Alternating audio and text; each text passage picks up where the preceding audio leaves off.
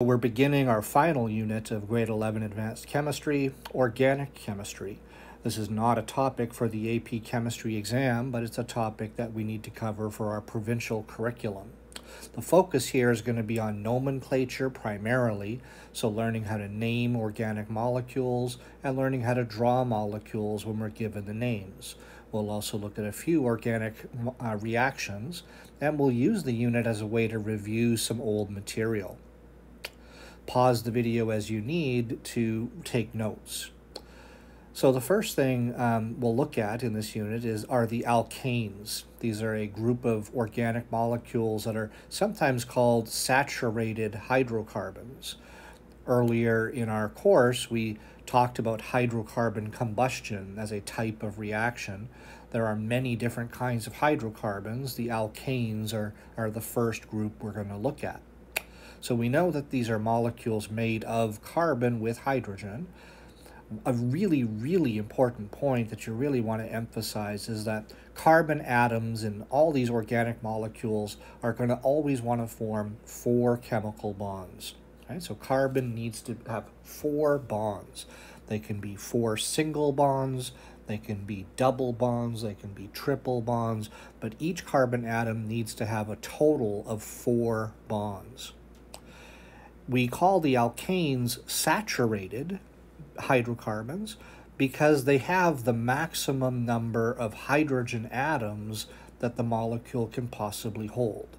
The reason they have the maximum amount of hydrogen is because all of the carbon-carbon bonds in an alkane are single bonds. So there will be no double bonds between carbon atoms, there will be no triple bonds between carbon atoms, only single bonds. When you have that and you have only carbons and hydrogens, you'll have the maximum amount of hydrogen possible, and so we call you a saturated alkane. So saturated hydrocarbon, rather. And these are also known as alkanes. There are several ways to represent these molecules, not just alkanes, but organic molecules in general. You don't need to sketch these in your notes, but just be familiar with their with their names. So on the far left, you see the expanded formulas. We're, we're not going to draw those very often, but you can see in that far left molecule that every bond between carbon atoms is just a single bond. And, and then there's hydrogens to complete them. So therefore, this would be an alkane. If you count how many carb how many bonds each carbon atom has, you'll see that they always end up having four bonds. So for example, if I circle this carbon atom down here, it's got one, two, three, four bonds around it. So that carbon atom has the four bonds that we mentioned often, more often than drawing expanded formulas, much more often, we'll draw condensed formulas. Um, in the condensed formula, instead of showing the individual hydrogen atoms, we'll group them together. So if a carbon has three hydrogens attached, we'll write CH3. If it has one hydrogen attached, we'll write CH. Um, this particular example of a condensed formula suggests incorrectly that the bonds are all sort of linear or 90 degree angles. That's not accurate. If you look at the ball and stick model, which represents carbon atoms as black spheres, and then for some weird reason they chose blue spheres for hydrogens, almost always hydrogen would be represented with a white sphere, so not these little blue spheres. But you can see this is the same molecule that we saw in the other two representations. Um, but you notice that the bond angles are are sort of jagged. There's a bond angle, not 90 degree angle, but 109.5 degrees because that's a tetrahedral angle. So every bond angle, when carbon has four bonds to it, is 109.5 degrees, and we refer to that as a tetrahedral angle. If you look at um, this carbon atom at the bottom here with an, with an arrow pointing at it, you can see that that carbon atom has four things attached. The three blue hydrogens are sort of coming towards you, and then it's bonded to a carbon atom going away from you. You can imagine that that's a tetrahedron with the carbon atom at its center. So the bond angles are referred to as tetrahedral, make sure you know that, And on, on average, because the, the molecules do bend and twist and turn, but on average, they'll be 109.5 degree angles. We're not going to get out protractors to when we draw the molecules, but we will usually draw the molecules in a sort of zigzaggy pattern to represent that. So you can see what I, what I was just referring to here. Look at how these molecules are condensed formulas, but not in a straight line, but in that zigzaggy pattern. Each angle there would be the 109.5 degree tetrahedral angle. So normal versus branched alkanes. This is a really fundamental idea. So a normal alkane is an alkane where there's just a continuous chain of carbon atoms. The first molecule you see there has one, two, three, four, five carbons just bonded together in, in, a, in a row, in a, in, a, in a chain. So that's a continuous chain of carbon atoms. That first molecule is a normal alkane.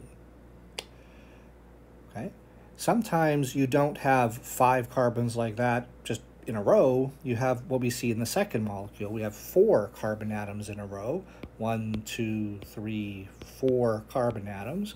That would be a chain of four atoms. And then there's a fifth carbon atom which is branching off of the chain. So that's called a branched alkane. So the one at the bottom is the branch, and the four in a row would be referred to, as we'll see in a moment, as the parent chain. Okay, the parent chain is the longest continuous chain of carbon atoms in the molecule. You might have been able to draw the parent chain in more than one way or, or to label it in more than one way. Instead of 1, 2, 3, 4, as I've done there, I could have numbered it 1, 2, 3, 4 like that. And then this fifth carbon over here would be a branch. So there may be more than one way to identify the parent chain, but it's the longest continuous chain of carbon atoms in the molecule.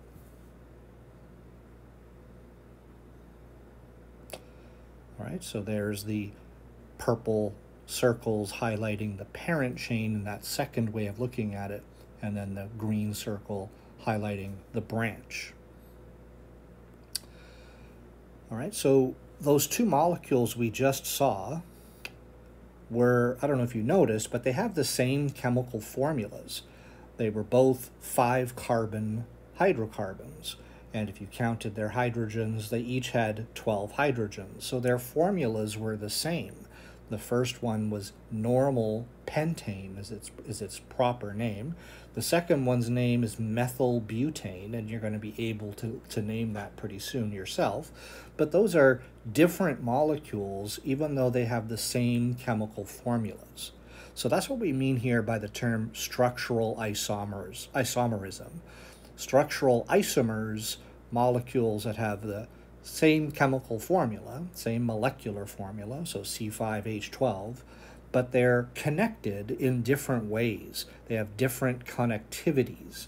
It's as though I gave you, um, let's see, five black Lego pieces and 12 white Lego pieces and said, build me something.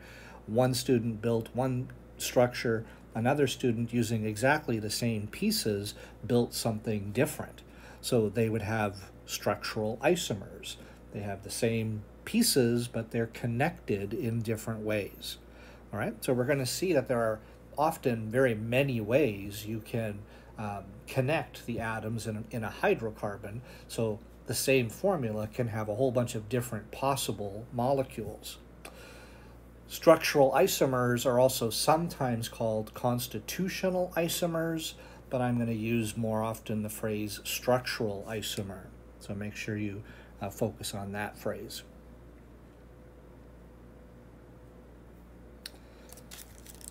The first 10 normal alkanes, you don't need to copy all of this down, but the names and formulas, you should write those down. So the first 10 names you just need to know. The first four, there's really no rhyme or reason to their names. You just have to memorize them. So a hydrocarbon, a normal hydrocarbon alkane with just one carbon is referred to as methane. When the normal alkane, again, remember normal means no branches, so normal with two carbons is ethane, three carbons is propane, and four carbons is butane. So you just need to memorize those first four methane, ethane, propane, butane, one, two, three, four carbons in a, in a normal chain, in a straight chain. Then after the fourth one, the names become more logical, more easily memorized because they use the same prefixes that we've seen before. If you have five carbons in the alkane, we'll refer to that as pentane. Six carbons, hexane, and then all the way down to decane. So make sure you have the first 10 names written down and their formulas. Now, do you see a pattern in the formulas. You can pause the video if you want to take time to write that down. Do you see a pattern in these formulas?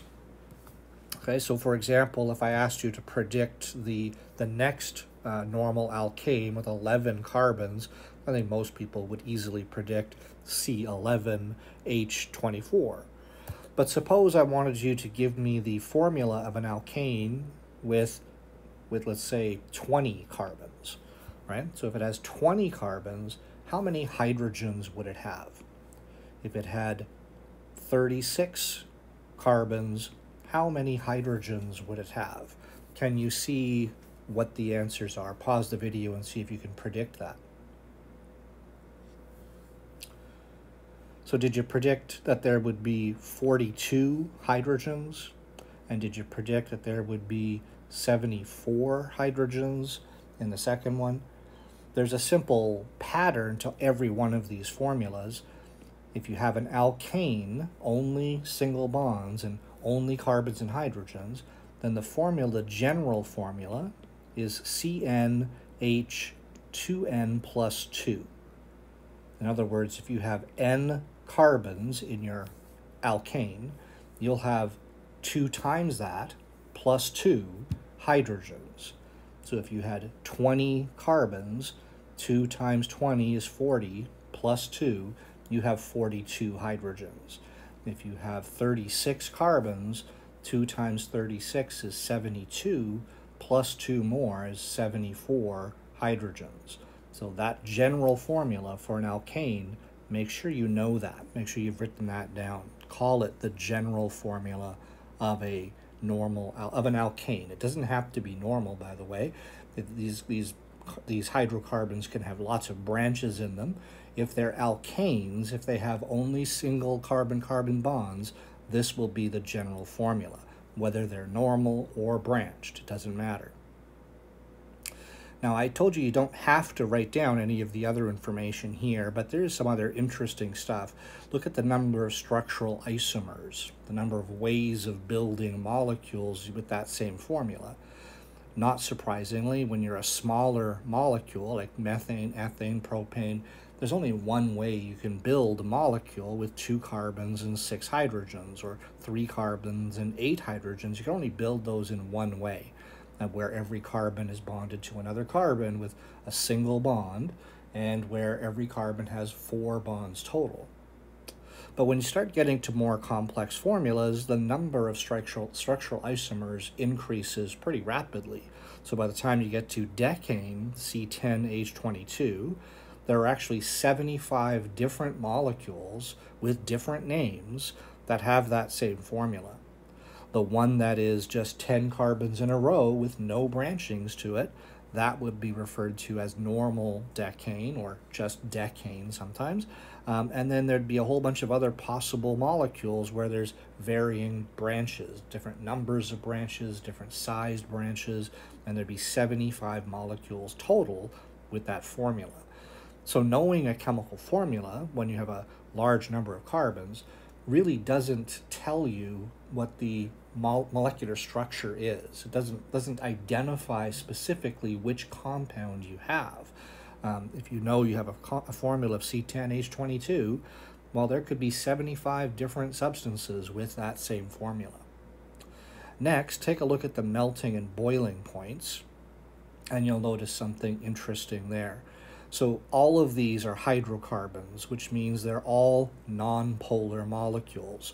There are only carbon-carbon and carbon-hydrogen bonds, and these are all nonpolar bonds. So hydrocarbons are always going to be just nonpolar molecules.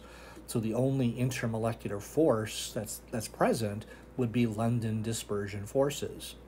When you get to be larger molecules, there's a larger cloud of electrons around the molecules, so they're more polarizable, and their London dispersion forces get stronger. So as you look at those boiling points and melting points, you'll notice that at room temperature, the first four um, normal alkanes are all going to be gases, right? So they're all gases, methane, ethane, propane, butane. Their boiling points are below uh, room temperature. But when you get to the, the next group, look at their melting points and then look at their boiling points, and you'll notice at that next group, they're liquids, all the way up to 16 carbons, in fact. They'll be liquids at room temperature.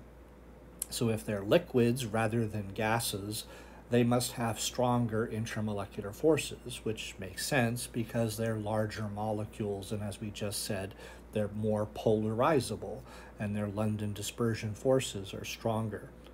When you get past 16 carbons, if you have a hydrocarbon with 36 carbons in it, then that's going to be a solid at room temperature. So IUPAC has given us a systematic way of naming alkanes when there are branches present.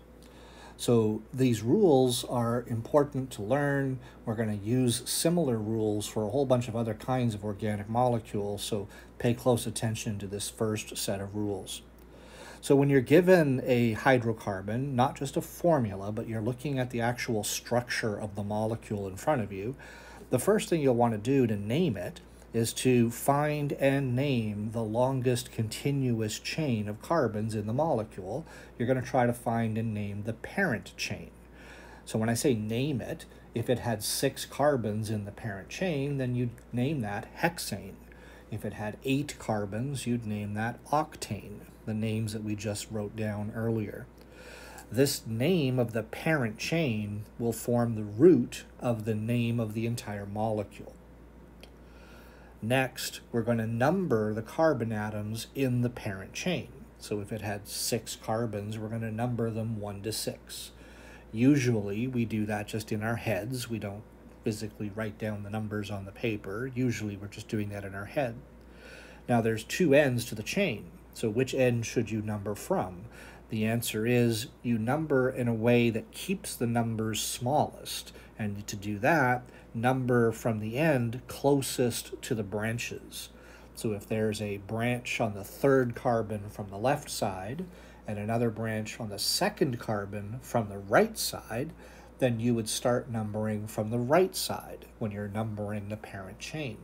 You number from the end of the parent chain closest to a branch. Next is to name the branches that are present in the molecule. So after identifying the parent chain, you'll then see that there are branches attached to it. When we're naming the branches, we change the ending of the names. So if there was a one carbon branch, if you think back to your earlier notes, when there is one carbon, we called that methane. But if it's a branch, we're going to call it methyl. So we drop the ANE from methane and we add YL and call it methyl. If there's a two carbon branch, then two carbons would normally be called ethane, so that's going to now be called an ethyl branch. A three carbon branch would be a propyl branch, a four carbon branch is a butyl branch, etc. You don't see often really long branches because to have a really long branch, you'd have to have an extraordinarily long parent chain because remember the parent chain is the longest continuous chain in the, in the molecule. So usually branches are one carbon long, two carbons long, sometimes three. You don't see very many examples of longer branches than that. if there are more than one type of branch in the molecule, so maybe the molecule has a methyl branch and it also has an ethyl branch, then when you're naming your molecule, you put those the names of the branches alphabetically. So the ethyl branch would get named before the methyl branch when you're naming the molecule because E comes before M. So when you're naming the molecule and it has more than one kind of branch, put the names of the branches alphabetically in the name of the molecule. Sometimes there'll be more than one methyl branch or more than one ethyl branch. In that case, we have to add prefixes. So if there were two methyl branches in the molecule, then you'd say dimethyl. If there were three ethyl branches, you'd say triethyl. Now, if you're putting prefixes, keep one thing in mind that when you're naming the branches alphabetically, you ignore their prefixes. So when you're alphabetizing the branches to decide which branch gets named first in the molecule, you focus on the methyl, the ethyl, you don't focus on the prefixes like di or tri. Pause the video if you need to to continue writing that down. So here's a simple example of a out of an alkane with branches on it. Look at that name and write it down. 2 comma 2 and, and focus also on the use of punctuation. 2 comma 2 dash dimethylpentane. Notice dimethylpentane is just one word okay? But it has a 2 comma 2 in front of it and then a dash as well. All right so what exactly does that name mean Okay, so the parent chain in that molecule is the root. So I look at the end of the, of the name and I see pentane. So this molecule has a parent chain with five carbons, right? Pentane had five carbons in it. So in my on my paper, I might start by writing that down when I do it myself, I would I would not put all the hydrogens on at this point. I would just put five carbons, one, two, three, four, five, in a zigzaggy pattern like that. Remember the tetrahedral bond angles. So five carbons in a row. Again, I would not personally add hydrogens at this point. The dimethyl up in the name tells me that this molecule has two methyl branches somewhere on the parent chain. A methyl branch is a branch with only one carbon. So there are two branches on this parent chain, and the branches each have one carbon. So they're dimethyl. But where are they? Where are the branches? Notice that you can never put a branch on the end carbon atoms, on either end. If you put a branch on the end of the chain, it's no longer a branch. You've simply taken the parent chain and make it made it longer.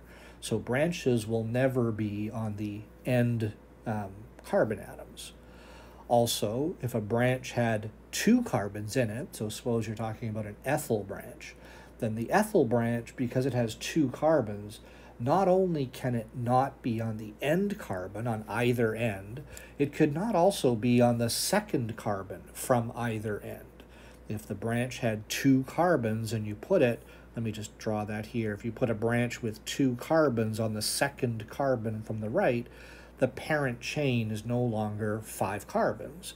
Now the parent chain would be one, two, three, four, five, six carbons. So that is now a hexane rather than a pentane. So you're not allowed to put branches ever on the first carbon from either end. And if it's got two carbons in the branch, you can't put it on the first or second carbon from either end of the parent chain. If it had three carbons in the branch, you couldn't put it on the first, second, or third carbons from either end, because in each case you would simply be making the parent chain longer and you would no longer be talking about a branch. Okay? All right. So what does the 2 comma 2 up in the name tell me? Well, the 2 comma 2 is telling me where to put those two methyl branches in the parent chain. So we're going to go to the second carbon in the parent chain, and we can number them from either way at this point. So we can number from right to left, we can number from left to right in the, in the parent chain, but on the second carbon, in whichever way we numbered, we're going to put both of the methyl branches. 2 comma 2 is telling us both branches are on that same carbon, the second carbon in the parent chain. So when you actually look at the molecule, that's what you'll get. So one, two, three, four, five carbons. There's pentane. And on the second carbon in the parent chain, there's a methyl branch and another methyl branch. That's 2 comma 2 dimethyl pentane. Now look at each carbon and can you rationalize why they have the number of hydrogen atoms that you see? Why do some of those carbons have three hydrogens? Why do some of them have two? Why does one of them have none? Why is that? Well, remember, each carbon needs to have four bonds total. So if you're a carbon like carbon number one, the only bond it had was to the other carbon atom. So it has a bond connecting it to the next carbon. Therefore, it needed three other bonds. So because it needs three other bonds, we give it three hydrogen atoms. Same thing with the carbon up above, the two methyl branches, the one above and below, they each had only one bond, so therefore they get three hydrogen atoms so that the carbons have four bonds total. Carbon number three and carbon number four, they each had two bonds already. So because they had two bonds each to other carbon atoms, they each got two hydrogen atoms to give them their four bonds total. Carbon number two had four bonds. It's got four bonds to four other carbon atoms. So carbon number two already had four bonds. It doesn't get any hydrogen atoms attached. So that's how we decide how many hydrogens in order to give every carbon the four bonds that it needed. All right, why don't you see if you can apply what we just did to this slightly more complicated looking name and draw it. Can you pause the video and see if you can draw this molecule?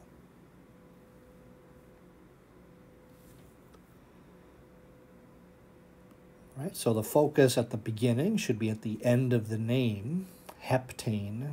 Hept means seven, so this parent chain has seven carbon atoms. So you just got to draw seven carbons in a zigzaggy pattern. Again, I, would, I wouldn't draw hydrogens in at this point because we're going to attach the branches. So just draw seven carbons in a row. Notice that in this case, I, I sort of went one, two, three, four, five, and then I went down and across the molecule uh, is totally twistable and bendable. It's just that there's seven in a row. So one, two, three, four, five, six, seven carbons connected in a chain. That's heptane. Okay.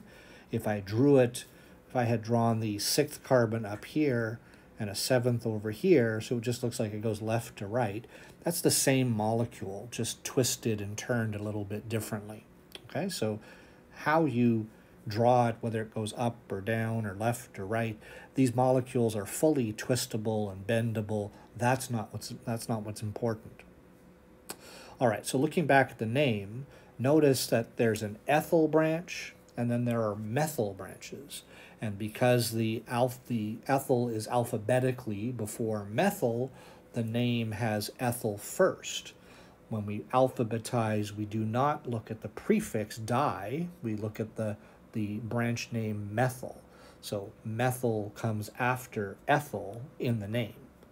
But there's dimethyl, so that means there's two methyl branches.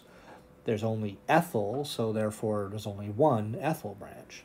The numbers are telling us where those branches are in the parent chain. So if you numbered the chain like I've done here, 1, 2, 3, 4, 5, 6, 7, then on carbon number 3, you're going to place a 2-carbon ethyl branch. And on carbon 2 and on carbon 4, you're going to place 1-carbon methyl branches, right? So there's the numbering, 1, 2, 3, 4, 5, 6, 7. 2,4-dimethyl, there are two methyl branches on carbons 2 and 4. And 3-ethyl, there's an ethyl branch which has two carbons on the third carbon of the parent chain.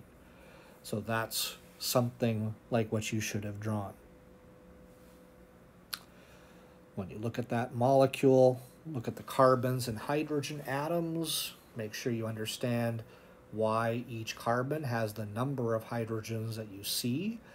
It's based on the number of bonds. The total number of bonds must be four. So if you look at the carbon I've just highlighted, that carbon had three bonds to other carbons, so it needs one more bond. It gets one hydrogen atom. If you look at this carbon that I've just highlighted, it had two bonds to other carbon atoms, so it needs two more bonds. We give it two hydrogen atoms. Okay? Carbons that are terminal, carbons that are at the end of a chain or the end of a branch, they'll always get three hydrogens because if they're terminal, they'll have only one bond. All right? One last example see if you can draw that one. 233 trimethyl 4 propyl octane. Pause the video.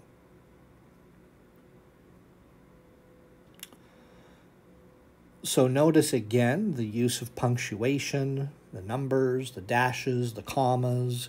Make sure you're following that protocol. Notice the propyl octane is just one word. Methyl and propyl are the two kinds of branches methyl comes before propyl alphabetically, so methyl was put first in the name. Trimethyl has a T, but when we're alphabetizing, we don't look at the prefixes like that. So when you look at that name, as ugly as it is, are you able now to sort of decipher what it means? Octane. So there is an eight carbon parent chain.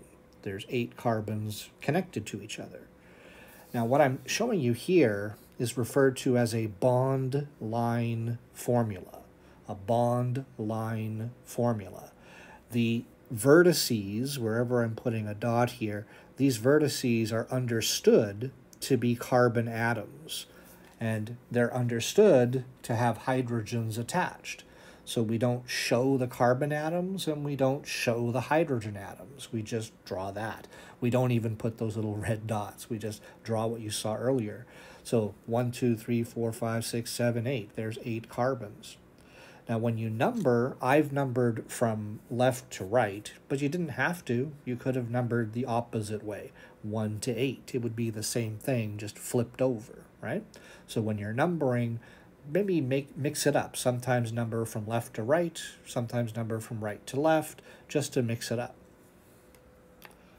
So the 233 trimethyl, this is telling us three methyl branches are in this molecule, and the 233 means one of them is on carbon 2, and the other two of those methyl branches are on carbon 3. The 4-propyl propyl comes from propane, which was the three carbon hydrocarbon. So this is a three carbon branch. For propyl, it's on the fourth carbon in the chain. So therefore, adding those branches, that's what you would get if you drew the bond line formula. This is how I'm usually going to draw the molecules, so you should get used to seeing this and drawing them yourselves. They're a little bit more economical than drawing all the carbon atoms and hydrogen atoms. But when you look at this molecule, make sure you understand what it's saying.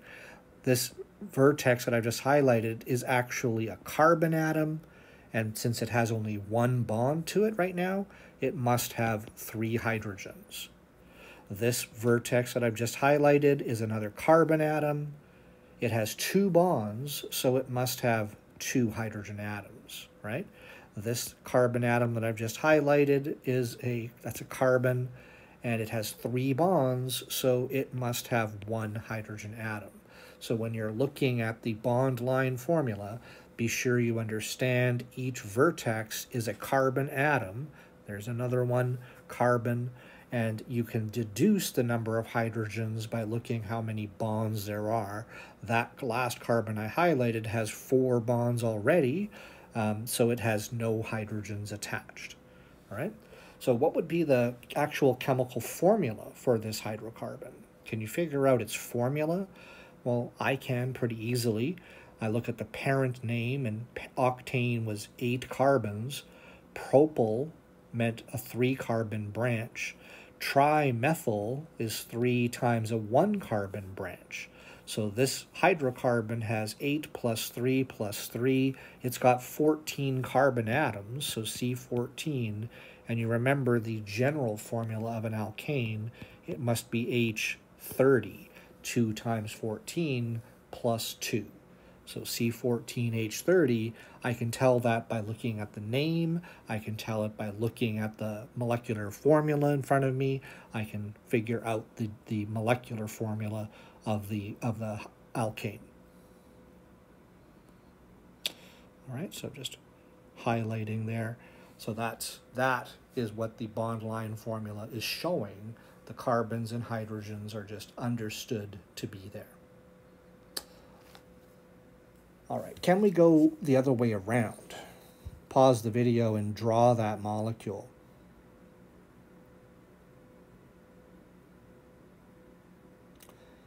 Now that you've drawn it, can we figure out what its name is? Well, the first thing when we're naming is to identify the parent chain. So the longest continuous chain is five carbons. So there's five carbons, but which end should I number from? So should I number it as one, two, three, four, five, like that? Or should I go the other way, the backwards? Remember that we number the parent chain from the end closest to branches. So if I'm going to number from the end closest to branches, then this carbon at the end would be number one, number two, number three, number four, number five. That way there's a branch coming off of carbon two and another branch coming off of carbon three. If I had numbered in the other way, from left to right, then the branches would have been on carbons three and four. So you want to end, you want to number in a way that keeps those numbers smallest, and that's to number from the end closest to the branches.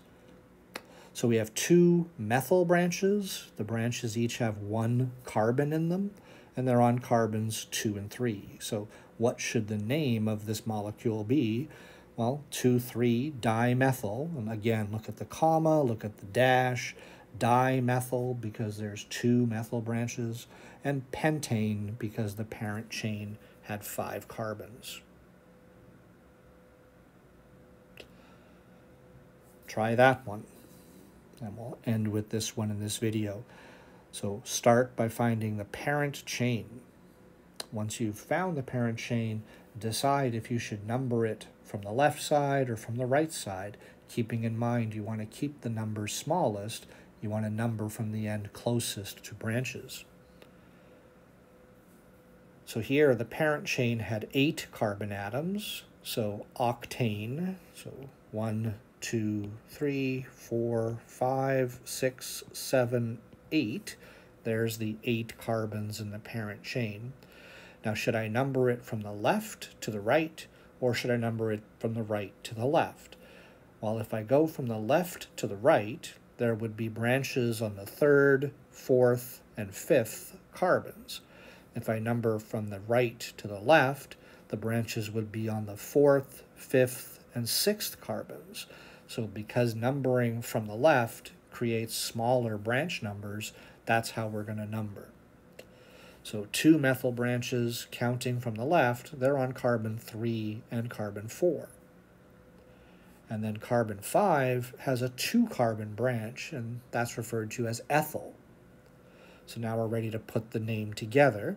But ethyl and methyl, which one should we name first in the, in the name? You go alphabetically. So we're going to name ethyl before the methyl. So here we go. The name would be 5-ethyl. So carbon 5 has the 2 carbon branch, ethyl. And then 3 comma 4 dimethyl. And look how I'm using dashes. Look how I'm using commas. 3 comma 4 dimethyl, and then the parent chain octane. 5 ethyl 3 4 dimethyl octane. As crazy as these names are, they are systematic. When you see this ugly name, you could draw the molecule because the name is so clearly telling you how it's actually constructed. So, to give you that clarity of how the molecule is built, the names have to be somewhat uh, unwieldy. These are not simple names. But once you understand the rules for naming them, they actually make a lot of sense. They're logical. So why don't we stop there in this first video lesson on alkane nomenclature.